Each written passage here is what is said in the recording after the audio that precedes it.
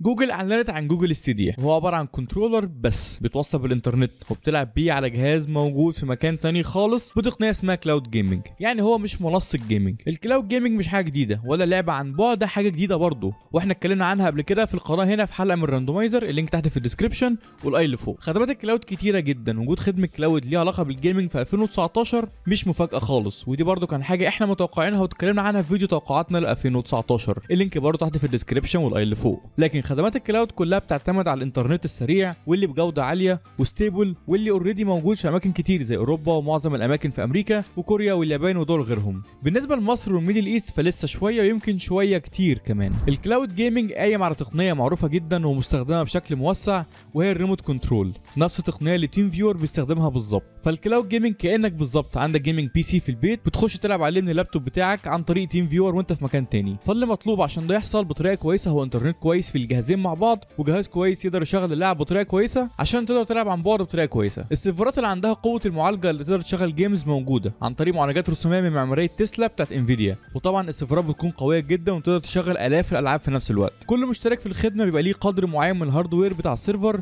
بيقدر يستخدمه زي ال VPS بالظبط. بس الفرق إن ال hardware اللي بتحجز بيكون بشكل مؤقت وأنت بتلعب بس. بالطريقة دي المستخدم مش هيصرف في إن هو يشتري gaming PC غالي وبعدين يقعد يعمل له upgrade كل ما الألعاب مستواها يعلى. وهيعتمد على ال cloud إن هو يشغل اللعبة اللي عايز يلعبها. طيب كده ال hardware تمام. والإنترنت تمام عشان خدمات ال cloud gaming تشتغل بطريقة مظبوطة. متبقي بس توفر ألعاب ودعمها لل cloud gaming services عشان الموضوع يكون متكامل. بغض النظر إن إحنا هنا عندنا في ال Middle East وفي مصر الإنترنت لا يسمح لتجربة ال cloud gaming المثالية عشان كده خدمات ال cloud المتاحة كلها مش بتدعم الشرق الأوسط. وبالمناسبة الخدمات دي كلها تجريبية لكن على الأقل في خدمة منهم اسمها Vortex غير مربوطة بمنطقة جغرافية معينة. فقدرنا نجربها عشان ناخد فكرة عن مستقبل ال cloud gaming عامل إزاي وهل ممكن نشوفه في ال Middle East قريب؟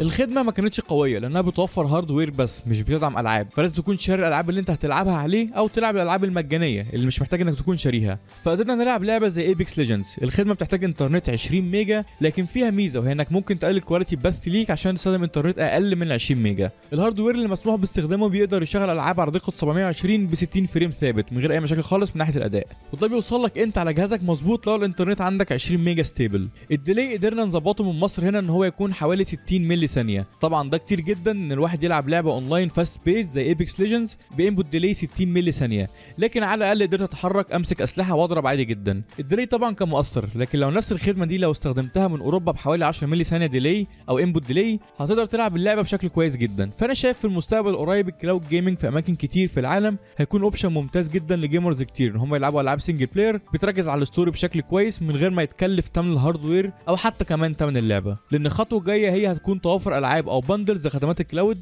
بحيث ما تكونش مضطر تشتري الالعاب اللي هتلعبها على ال cloud gaming وكمان تشترك في الخدمة فالاشتراك هيكون كفاية. دي حاجة خلاص سوني عملتها من فترة في خدمة PlayStation Now اللي للأسف مش متاحة غير في أماكن معينة ال Middle East مش منهم. لكن في خدمة PlayStation Now بتشترك ب 20 دولار في الشهر وبيدي لك خدمة cloud بالإضافة للألعاب كمان وبتقدر تلعبها في أي مكان إذا كان على PlayStation أو حتى PC فدي خدمة cloud متكاملة بالإضافة لوجود خدمات زي GeForce Now لسه مش متاحة للاستخدام العام لكن بتدعم حاليا 400 لعبة فلما تكون متاحة تبقى حل كامل برضه. مجرد اشتراك بيجيب لك ال hardware والألعاب كمان. أعتقد الخدمات دي هتكون بتكلفة حوالي 20 دولار في الشهر زي PS Now بالظبط. لأن خدمة Vortex سعرها كان 10 دولار لكن من غير ألعاب. فلازم تكون شاري الألعاب. فالخدمات اللي هيكون معاها ألعاب أو bundles ألعاب هتكون أغلى شوية. التنافس بين الشركات في cloud gaming هيكون في bundles الالعاب اللي هيقدروا يوفروها والحصريات اللي هتكون لكل خدمة منهم. بالإضافة طبعا لاستقرار سيرفراتهم. لحد دلوقتي الخدمات مش مستقرة تماما لكن مع شوية optimization واختبارات كفاية هتكون شغالة في أماكن معينة قريبة جغرافيا من السيرفرات. نرجع تاني بقى ل Google Stadia. Google Stadia في ميزة جميلة جدا وهي ال controller.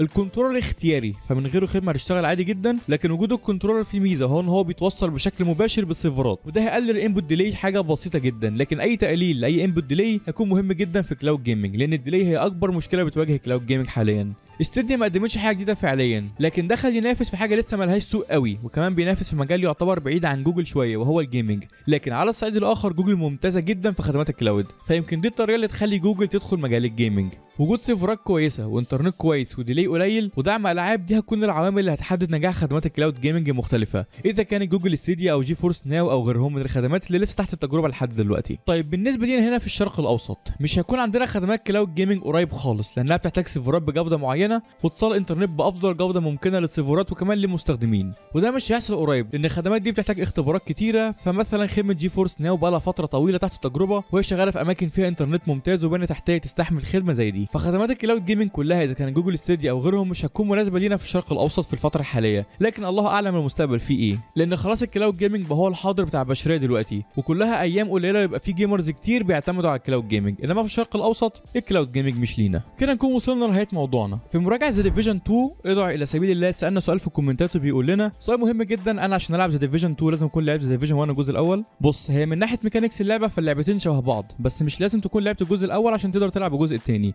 لكن من ناحية القصة لازم طبعا بالأخص إن في حاجات كتير في تصميم العالم ليها علاقة بالقصة بشكل كبير. إحنا كده نكون وصلنا لنهاية الفيديو بتاعنا. يا ريت لو عجبك الفيديو تعمل like. لو أنت في القناة أول مرة تشوفنا. يا ريت تشوفنا تعمل سبسكرايب. ولحد الفيديو اللي جاي. سلام.